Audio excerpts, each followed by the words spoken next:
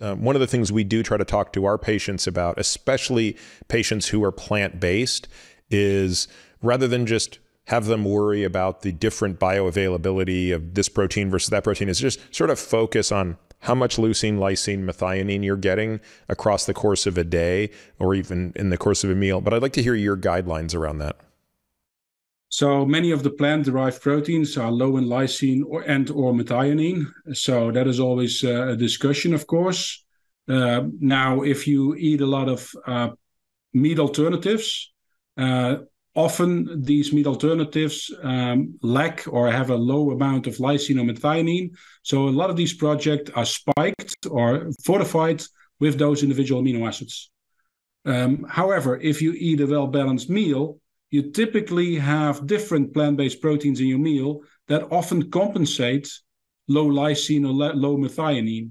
For example, one protein has a high ly- lysine and the other one has relatively uh, high methionine, so they compensate. So that's why also your mom would say have a, a, a diet that is balanced with a lot of different sources. Then the problems become smaller and you don't have to expect uh, huge issues. Certainly not if you're consuming enough protein because uh, you can compensate for lesser quality by greater quantity.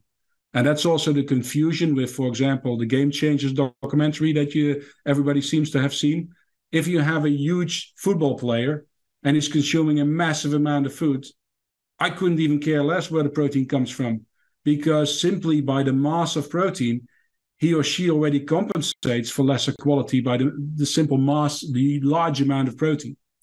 Um, but if you, yeah, if you actually, so we, I mean, the hype is also here. I got a phone call from somebody in the hospital saying, like, look, well, what do you think? Should we actually get only uh, plant based foods for our patients? And I'm thinking, like, oh no, uh, because quality becomes important when you actually have low quantity of food. So people that due to cancer or pain eat less, don't give them a, a, a high plant-based foods it sounds like you're doing a good thing, but you're not helping them at that stage in life.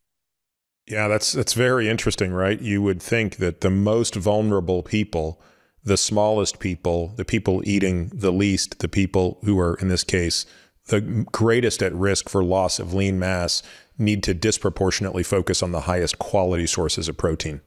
And and and so everybody means well, and especially that's also the communication between clinical care and science that often you think like, oh, a plant-based diet is healthier. Yes, it's healthier if you're over-consuming energy. And so if you need a, a more plant-based diet will allow you to eat less energy, become less obese or less overweight. But it doesn't mean it's good for everybody necessarily.